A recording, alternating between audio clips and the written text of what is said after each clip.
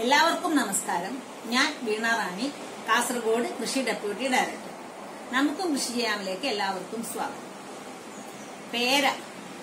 കേരളീയനെ സംബന്ധിച്ചിടത്തോളം നമ്മുടെ ആപ്പിൾ തന്നെയാണ് പേര. പക്ഷെ നമുക്കറിയാം കേട്ടോ കഴിഞ്ഞ കുറേ നാളുകളായിട്ട് പേരക്കയിൽ വരുന്ന ഏറ്റവും വലിയ പ്രശ്നം മാങ്ങിന്റെ മാങ്ങ പഴുത്ത മാങ്ങയുടെ അകത്തുണ്ടാവുന്ന മാമ്പഴ ഈച്ചയുണ്ടല്ലോ ഫ്രൂട്ട് ഫ്ലൈ അതിന്റെ അറ്റാക്ക് നമ്മളുടെ പേരക്കകത്തും കാണാൻ തുടങ്ങിയിട്ടുണ്ട്. മുമ്പൊന്നും പേരക്കകത്ത് ഈ ഇത്തരം ഫ്രൂട്ട് ഫ്ലൈഡ് അറ്റാക്ക് കാണാറേ ഉണ്ടായിരുന്നില്ല ഏകദേശം എൺപത് ശതമാനം ഈൽഡ് ലോസ് ഈ ഫ്രൂട്ട് ഫ്ലൈ കൊണ്ട് മാത്രം ഉണ്ടാവുന്നതാണ് പുതിയ കണക്കുകൾ പേരക്കയിൽ ധാരാളം ഫോസ്ഫറസും പൊട്ടാസ്യവും അയേണും സൾഫറും ഒക്കെ ഉണ്ടെങ്കിലും അതേപോലെ തന്നെ ക്യാൻസറിനെ പ്രതിരോധിക്കാനുള്ള കഴിവും പേരയ്ക്കുണ്ട് അതുകൊണ്ട് ഇപ്പൊ മിക്കവാറും എല്ലാവരുടെ പറമ്പിലും ഒരു പേരക്കെങ്കിലും ഉണ്ടാവാറുണ്ട്. അതിൽ നിന്ന് വിളഞ്ഞെടുത്ത പേരൊക്കെ നമുക്ക് കഴിക്കാൻ പറ്റാതെ നഷ്ടപ്പെട്ടു പോകുക എന്ന് പറഞ്ഞാൽ തീർച്ചയായിട്ടും വിഷമമുള്ള കാര്യം തന്നെയാണ്. അപ്പൊ നമുക്ക് എങ്ങനെയാണ് ഈ ഫ്രൂട്ട് ഫ്ലൈനെ നമുക്ക് നിയന്ത്രിക്കാമെന്ന് നോക്കാം. അപ്പൊ നിയന്ത്രിക്കുമ്പോൾ നമ്മൾ ശ്രദ്ധിക്കേണ്ട ഏറ്റവും പ്രധാനപ്പെട്ട കാര്യം മാമ്പഴ ഈച്ച തന്നെയാണ് നമ്മളുടെ ബാക്ട്രോസീറ എന്ന് പറയുന്ന അതേ സംഭവം തന്നെയാണ് നമ്മളുടെ പേരക്കയിലും അറ്റാക്ക് ചെയ്യുന്നത്. അപ്പൊ അറ്റാക്ക് ചെയ്യുന്നത് എപ്പോഴാണെന്നറിയോ? നല്ലോണം മൂത്ത് പഴുക്കുന്നതിന് തൊട്ട് മുമ്പ്. അതെന്ത് ചെയ്യുന്ന വെച്ച് കഴിഞ്ഞാൽ ഈ പേരക്കയുടെ ഇതിനകത്ത് അതിന്റെ നല്ല പിന്ന് പോലുള്ള അറ്റം വെച്ചിട്ട് ഓവിപ്പോസിറ്റർ എന്ന് പറയും. അത് വെച്ചിട്ട് അവിടെ മുട്ടയിടും. മുട്ട ഈ തൊലിപ്പുറത്തിന് തൊലിക്കകത്ത് മാത്രമാണ് മുട്ടയിടുക. മുട്ട വിരിഞ്ഞിറങ്ങുന്ന പുഴുക്കൾ എന്ത് ചെയ്യും? നമ്മളുടെ കാമ്പിനകത്തോട്ട് എത്തും. കാമ്പിനകത്ത് ശരിക്കും പറഞ്ഞ ഒരു പത്ത് ദിവസം കൊണ്ട് ആ മുഴുവനും തിന്ന് നമ്മളുടെ പേരയ്ക്ക് ഒരു നമുക്ക് ഉപയോഗിക്കാൻ പറ്റാത്ത രീതിയിലേക്ക് മാറ്റും. അപ്പൊ എങ്ങനെയാണ് ഇതിന്റെ നിയന്ത്രണം എന്നുള്ളതാണ് പ്രധാനം. ഏറ്റവും പ്രധാനമായിട്ട് ശ്രദ്ധിക്കേണ്ടത് നമ്മളുടെ തോട്ടം നല്ല ശുചിയായി സൂക്ഷിക്കുക എന്നുള്ളത് തന്നെയാണ്. അതായത് നിലത്ത് വീണ് കിടക്കുന്ന അതായത് പഴുത്ത് ചീഞ്ഞു പോയ പേരക്ക അതിന്റെ താഴെ വീണ് കിടക്കുന്നത് മുഴുവനും തന്നെ നീക്കിയിട്ട് നമ്മൾ സോപ്പ് സൊല്യൂഷനിൽ ഇട്ട് വെക്കുക അങ്ങനെ ആകുമ്പോൾ എന്ത് പറ്റും? ഈ പുഴു തനിയെ തന്നെ നശിച്ചു പോകും. അല്ലാതെ അവിടെ തന്നെ കിടന്നു കഴിഞ്ഞാൽ അതിന്റെ പ്യൂപ്പൽ സ്റ്റേജ് ആ മണ്ണിൽ സുഷുപ്താവസ്ഥ പൂർത്തീകരിച്ച് വീണ്ടും അത് ഇരട്ടി വീര്യത്തോടുകൂടി വീര്യത്തോടു കൂടി പുതിയ അഡൾട്ടായിട്ട് പുറത്തേക്ക് വരും. അതുപോലെ തന്നെ ഒരു കാര്യം മനസ്സിലാക്കേണ്ടത് ഒരു ഫ്രൂട്ട് ഫ്ലൈ ആയിരത്തി ഇരുന്നൂറോളം മുട്ടയിടും അതിന്റെ ജീവിതദശയിൽ ഈ മുട്ട വിരിഞ്ഞിറങ്ങുന്ന പുഴുക്കളാണ് നമ്മളുടെ പേരക്കയെ നശിപ്പിക്കുന്നത്. അപ്പം പ്രധാനമായും ശ്രദ്ധിക്കേണ്ടത് നമ്മളുടെ തോട്ടം ശുചിയായി സൂക്ഷിക്കുക അതുപോലെ തന്നെ പേരക്ക നല്ല മൂപ്പെത്തുമ്പോ തന്നെ പറിച്ചെടുക്കുക. അതായത് പഴുത്ത് അതിന്റെ മേളിൽ തന്നെ പഴുക്കാൻ അനുവദിക്കാതെ മൂപ്പെത്തുമ്പോ തന്നെ പറിച്ചെടുത്തു കഴിഞ്ഞാൽ നമുക്ക് ഫ്രൂട്ട് ഫ്ലൈന്റെ അറ്റാക്കിനെ ഒഴിവാക്കാൻ പറ്റും. പിന്നെ നമുക്ക് വളരെ കുറച്ച് പേരക്കേ ഉള്ളൂ എന്ന് കൂട്ടിക്കൊള്ളൂ ഒരു ഒരു പേരക്കയിൽ കിട്ടുന്ന പേരക്ക മാത്രമാണ് നമുക്ക് അതിനെ പൊതിഞ്ഞ് സൂക്ഷിക്കാം. നമ്മളുടെ സാധാരണ പേപ്പർ വെച്ചിട്ട് ന്യൂസ് പേപ്പറിന്റെ വെച്ച് പൊതിഞ്ഞ് സൂക്ഷിച്ചു കഴിഞ്ഞാൽ നമുക്ക് ഫ്രൂട്ട് ഫ്ലൈന്ന് നിന്ന് രക്ഷപ്പെടാൻ പറ്റും. ഇതൊന്നും വാണിജ്യാടിസ്ഥാനത്തിലുള്ള കാര്യമല്ല കേട്ടോ. പിന്നെ നമുക്ക് ജൈവ രീതിയിലുള്ള ഒരു നിയന്ത്രണ മാർഗമാണ് മീത്തേൽ യൂജിനോ മീത്തേൽ മെറ്റ് നമ്മളുടെ ഫെറമോൺ ട്രാപ്പ് നമ്മളുടെ പടന്നക്കാട് കാർഷിക കോളേജ് അതുപോലുള്ള യൂണിവേഴ്സിറ്റി സെന്റേഴ്സുകളിൽ നമ്മളുടെ പാരസൈറ്റ് ബ്രീഡിംഗ് സ്റ്റേഷനിലൊക്കെ തന്നെ ഇത് വിൽപ്പനയ്ക്ക് തയ്യാറാണ്. അത് നമ്മളുടെ പേര് പിടിക്കാൻ തുടങ്ങുമ്പോൾ തന്നെ നമ്മൾ അതിനകത്തോട്ട് തൂക്കിയിട്ട് കഴിഞ്ഞാൽ ആൺകാഴ്ചകളെ നമുക്ക് നശിപ്പിക്കാം. അതിനകത്തോട്ട് അട്രാക്ട് ചെയ്ത് നമുക്ക് നശിപ്പിക്കാൻ പറ്റും. പിന്നെ ചെയ്യാൻ പറ്റുന്നത് ബിവേറിയ.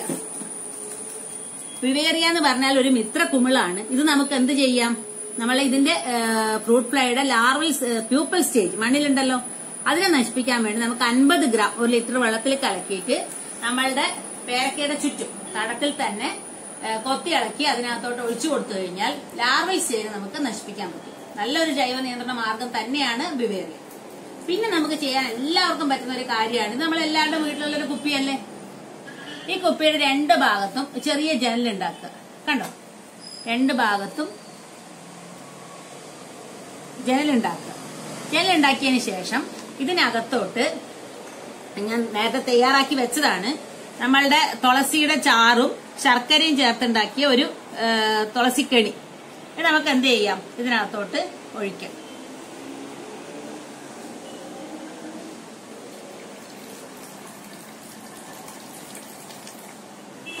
ഇതിനകത്ത് ഇനി നമുക്കൊരു ഒന്നുകിൽ എണ്ണ അല്ലെങ്കിൽ നമുക്ക് സ്പിനോസൈഡ് എന്ന് പറയുന്ന ഒരു ഫംഗി ഫംഗൽ ബേസ്ഡ് ആയിട്ടുള്ള ഒരു ഇൻസെക്ടിസൈഡ് ഇത് ഏത് വേണമെങ്കിലും നമുക്ക് ഇതിനകത്തോട് ഒഴിച്ചു വെക്കാം. മൂടിയിട്ട് വെച്ച് കഴിഞ്ഞാലുള്ള ഗുണം എന്താ അറിയോ? ഈ തുളസിയുടെ മണത്തിന് തന്നെ ആര് അട്രാക്ട് ചെയ്യപ്പെട്ട് ഇങ്ങോട്ട് വരും? കായ്ച്ച ആൺ കായ്ച്ചും പെൺ കായ്ച്ചും ഇതിനകത്തോട്ട് വരും. ഇതിനകത്തോട്ട് വീണത് നശിച്ചു പോകും.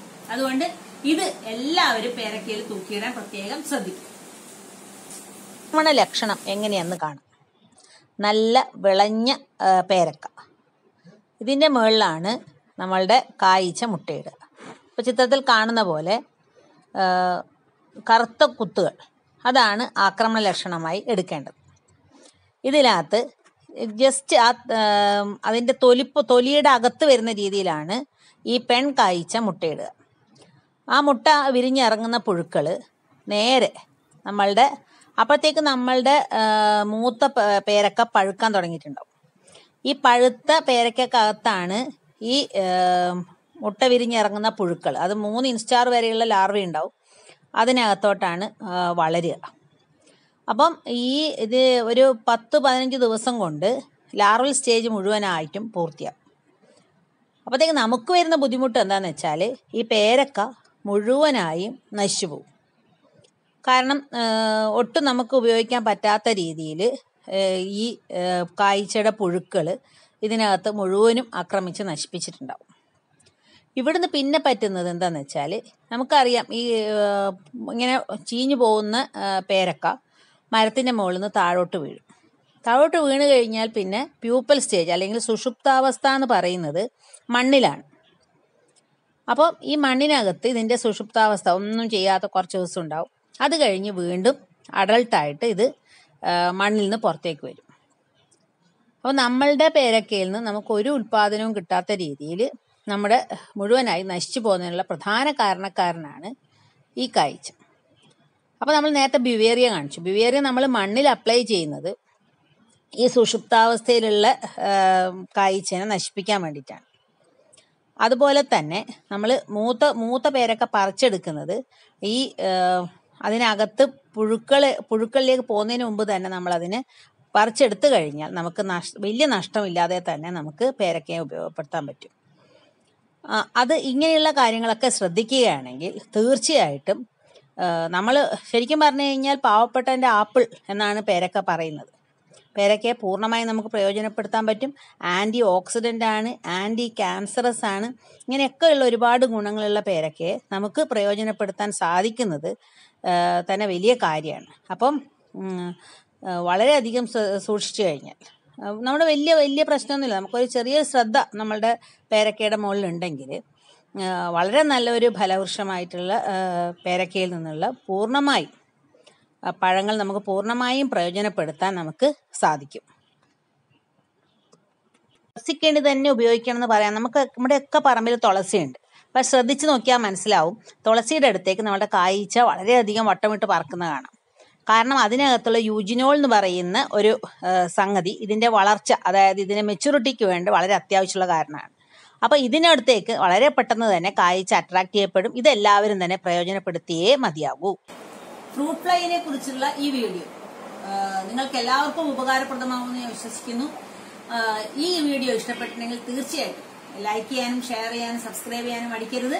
ബെൽ ബട്ടൺ കൂടി ക്ലിക്ക് ചെയ്യുക. അടുത്ത് തന്നെ വീണ്ടും ഒരു കാർഷിക വീഡിയോയുമായി കാണുന്നത് വരെ നന്ദി നമസ്കാരം.